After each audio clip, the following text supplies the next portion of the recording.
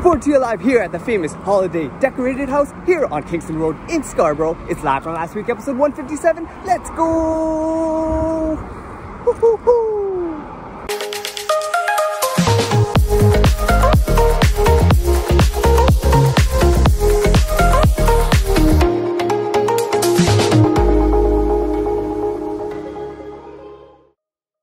Welcoming my fellow JayWalkers to another episode of Live from last week. Hope last week has served you well. Just a quick shameless plug before we go on. Want you guys to like and share this video and subscribe to the channel. First of all, just throwing it back to yesterday, where I was downtown strolling around the Eaton Center area while walking around in the rain.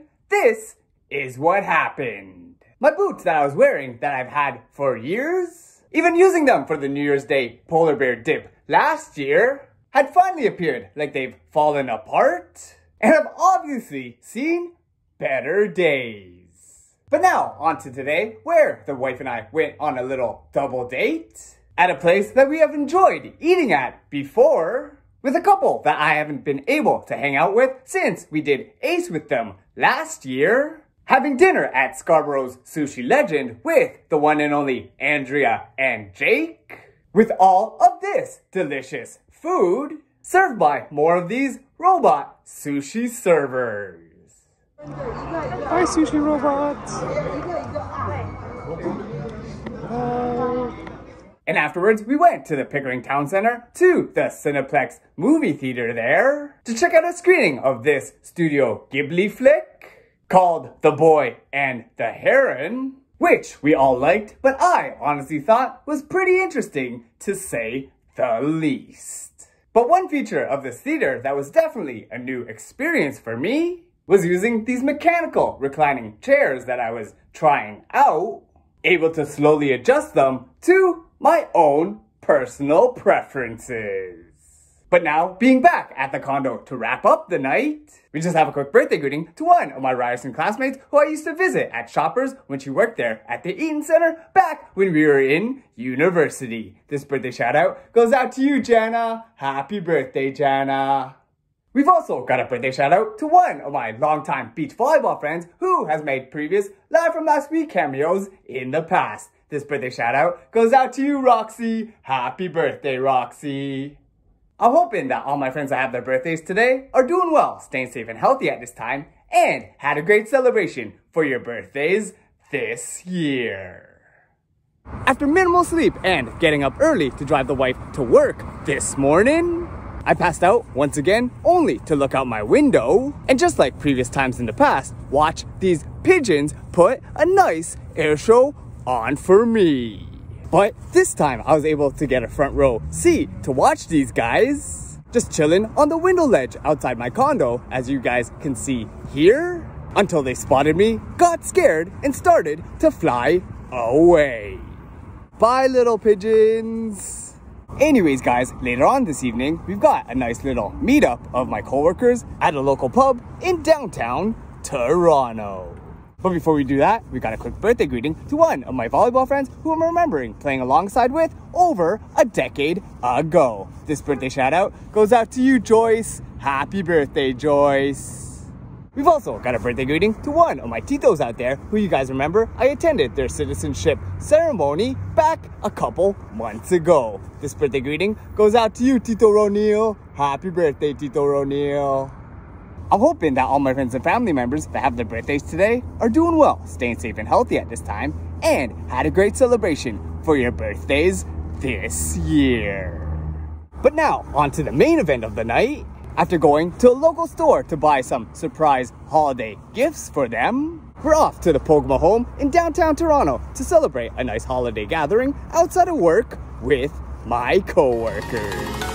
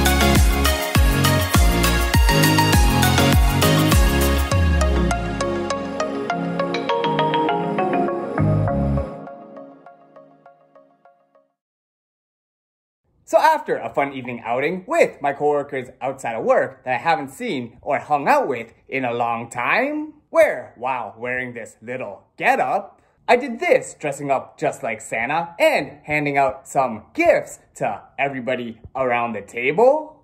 It looked like we really enjoyed ourselves a lot during this holiday gathering. But on to today, after waking up early to drop off the wife downtown for her day shift and filling up the Mini on gas that is more or less regular priced compared to the gas prices and their limited time deals that we just saw last week. We are at December 21st, officially the shortest day of the year. Where I also want to welcome y'all to the first official full day of winter. Happy first day of winter, guys! Anyways, spending all day pretty much just wrapping up gifts and getting the condo a little bit more ready for the holiday season. I'm off to go back downtown this evening to pick up the wife from her day shift before the night is done. So last night, before picking up the wife, guess who, for the first time since it was unseasonably warm, when it should have been chilly outside, got some Too Good To Go from one of their favorite places, the good old Tagpuan in Scarborough. As well as slacking, not working out on all of their days off, I hopped on the stationary bike for a nice little workout in the dark last night.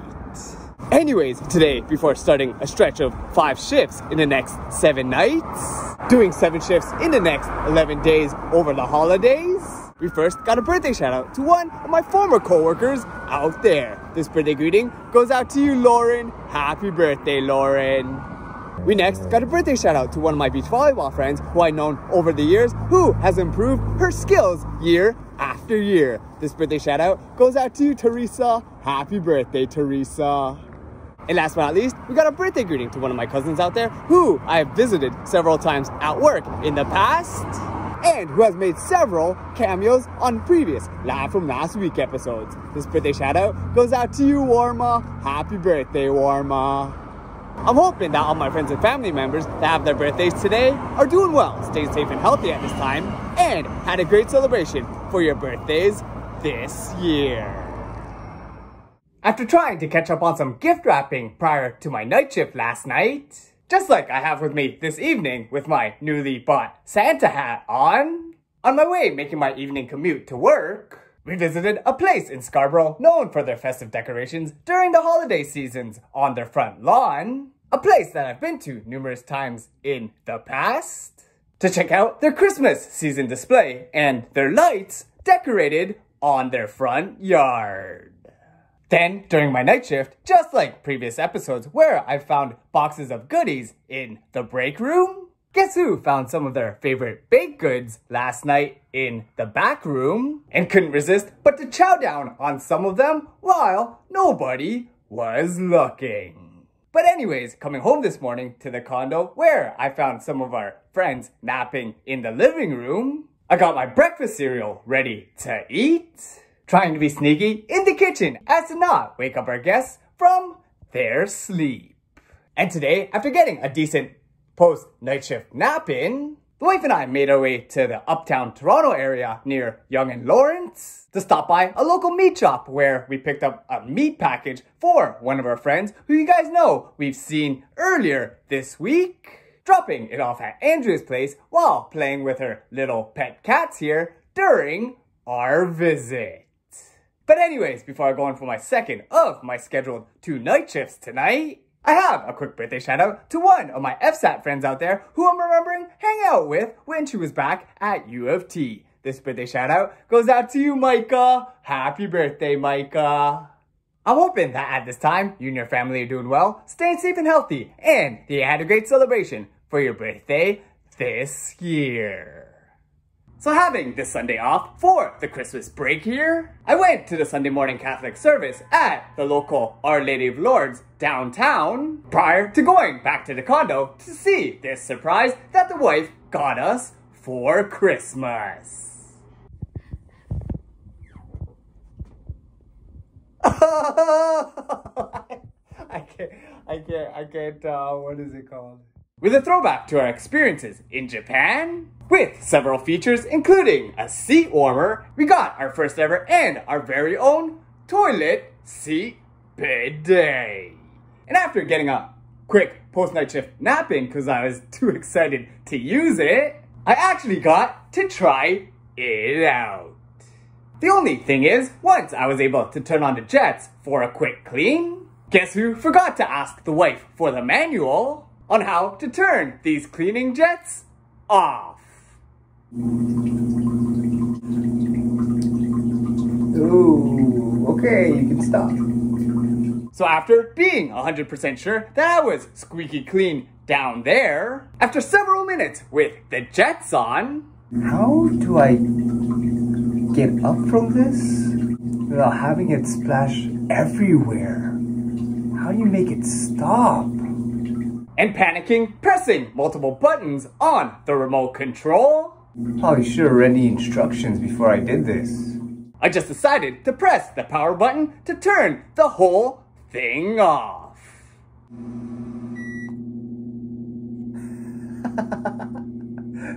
Oh my gosh, after six minutes, I just turned it off. Anywho, planning to go to two separate Christmas Eve celebrations, just like we did last year, and trying to track Santa on his several gift deliveries for Christmas Eve online. We just have a quick birthday shout out to one of my cousins out there who has made cameos in several Live from Last Week episodes, and with whom I went to Chicago to Lollapalooza with to see NewJeans in the summer. This birthday shout out goes out to you, Elron. Happy birthday, Elron. I'm hoping that at this time you and your family are doing well, staying safe and healthy, and that you had a great celebration for your birthday this year. Now, on to first going all the way to Sauga to spend some time on Christmas Eve with the in-laws and the family.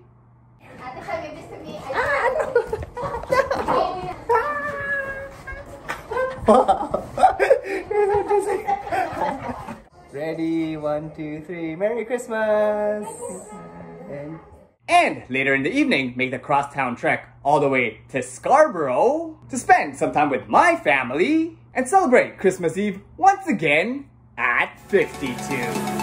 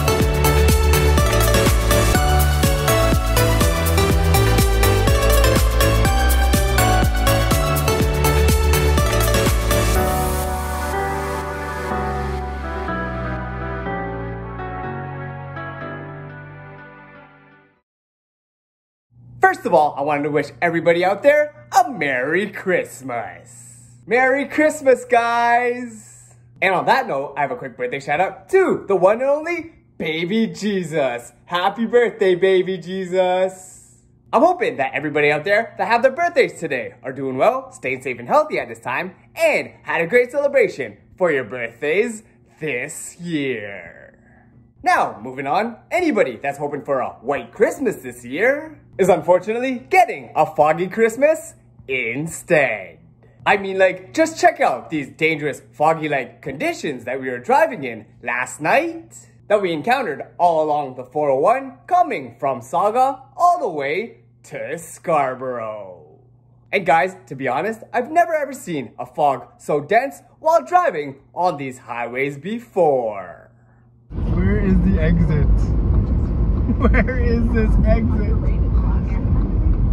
And by the way, check out how the view looked from the condo last night to how it looked like a couple hours ago just this morning. And speaking of this AM, while we were all opening our gifts at 52 just after midnight, it had dawned on me that I had forgot the sister and Andrew's Christmas gift at the condo here last night. Sorry, sis. So the only thing I can do is hope that in a future Live from Last Week episode, I'll be able to hand over this present for her as a late belated Christmas gift. But going back to last night's events, where we did a secret slash stealing Santa gift exchange at 52, with the stipulation that if you wanted to steal a gift from somebody else, you had to take a shot. But the person that had their gift targeted could block the person stealing their gift by taking one plus an extra shot for two shots in total. But if the stealer really, really wanted to steal the gift from them, they would have to take the number of shots that the targeted person had taken, plus the extra shot for the challenge, and so on and so on. So when the time came up to my turn, where I chose to steal my cousin Ray's gift, a large box of Ferrero Rocher, and a $25 LCBO card. After several rounds of shots, this guy was so competitive that he wouldn't even give up his gift. Technically and literally going shot for shot with me. But what he didn't know was that that was a strategy to get him to drink, and it turned out afterwards that I just decided to get a gift from the Secret Santa gift pile. But if I don't take it, then I can just pick a gift, right?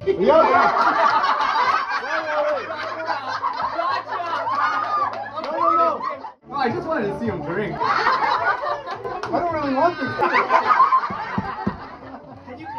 Which, after I opened it,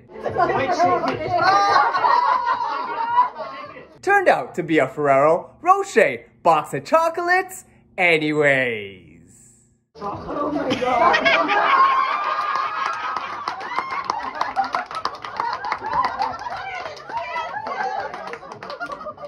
But anyways, guys, on to today, where later on this evening, the wife and I are going in for a night shift for this holiday. We're planning to go to our third Christmas gathering in a span of less than 24 hours at our Ateshaw's place in Richmond Hill pre-shift to spend quality time with the nephew and the family at the condo, just like we did several weeks back.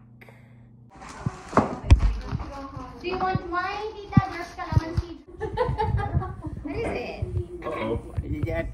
What is it?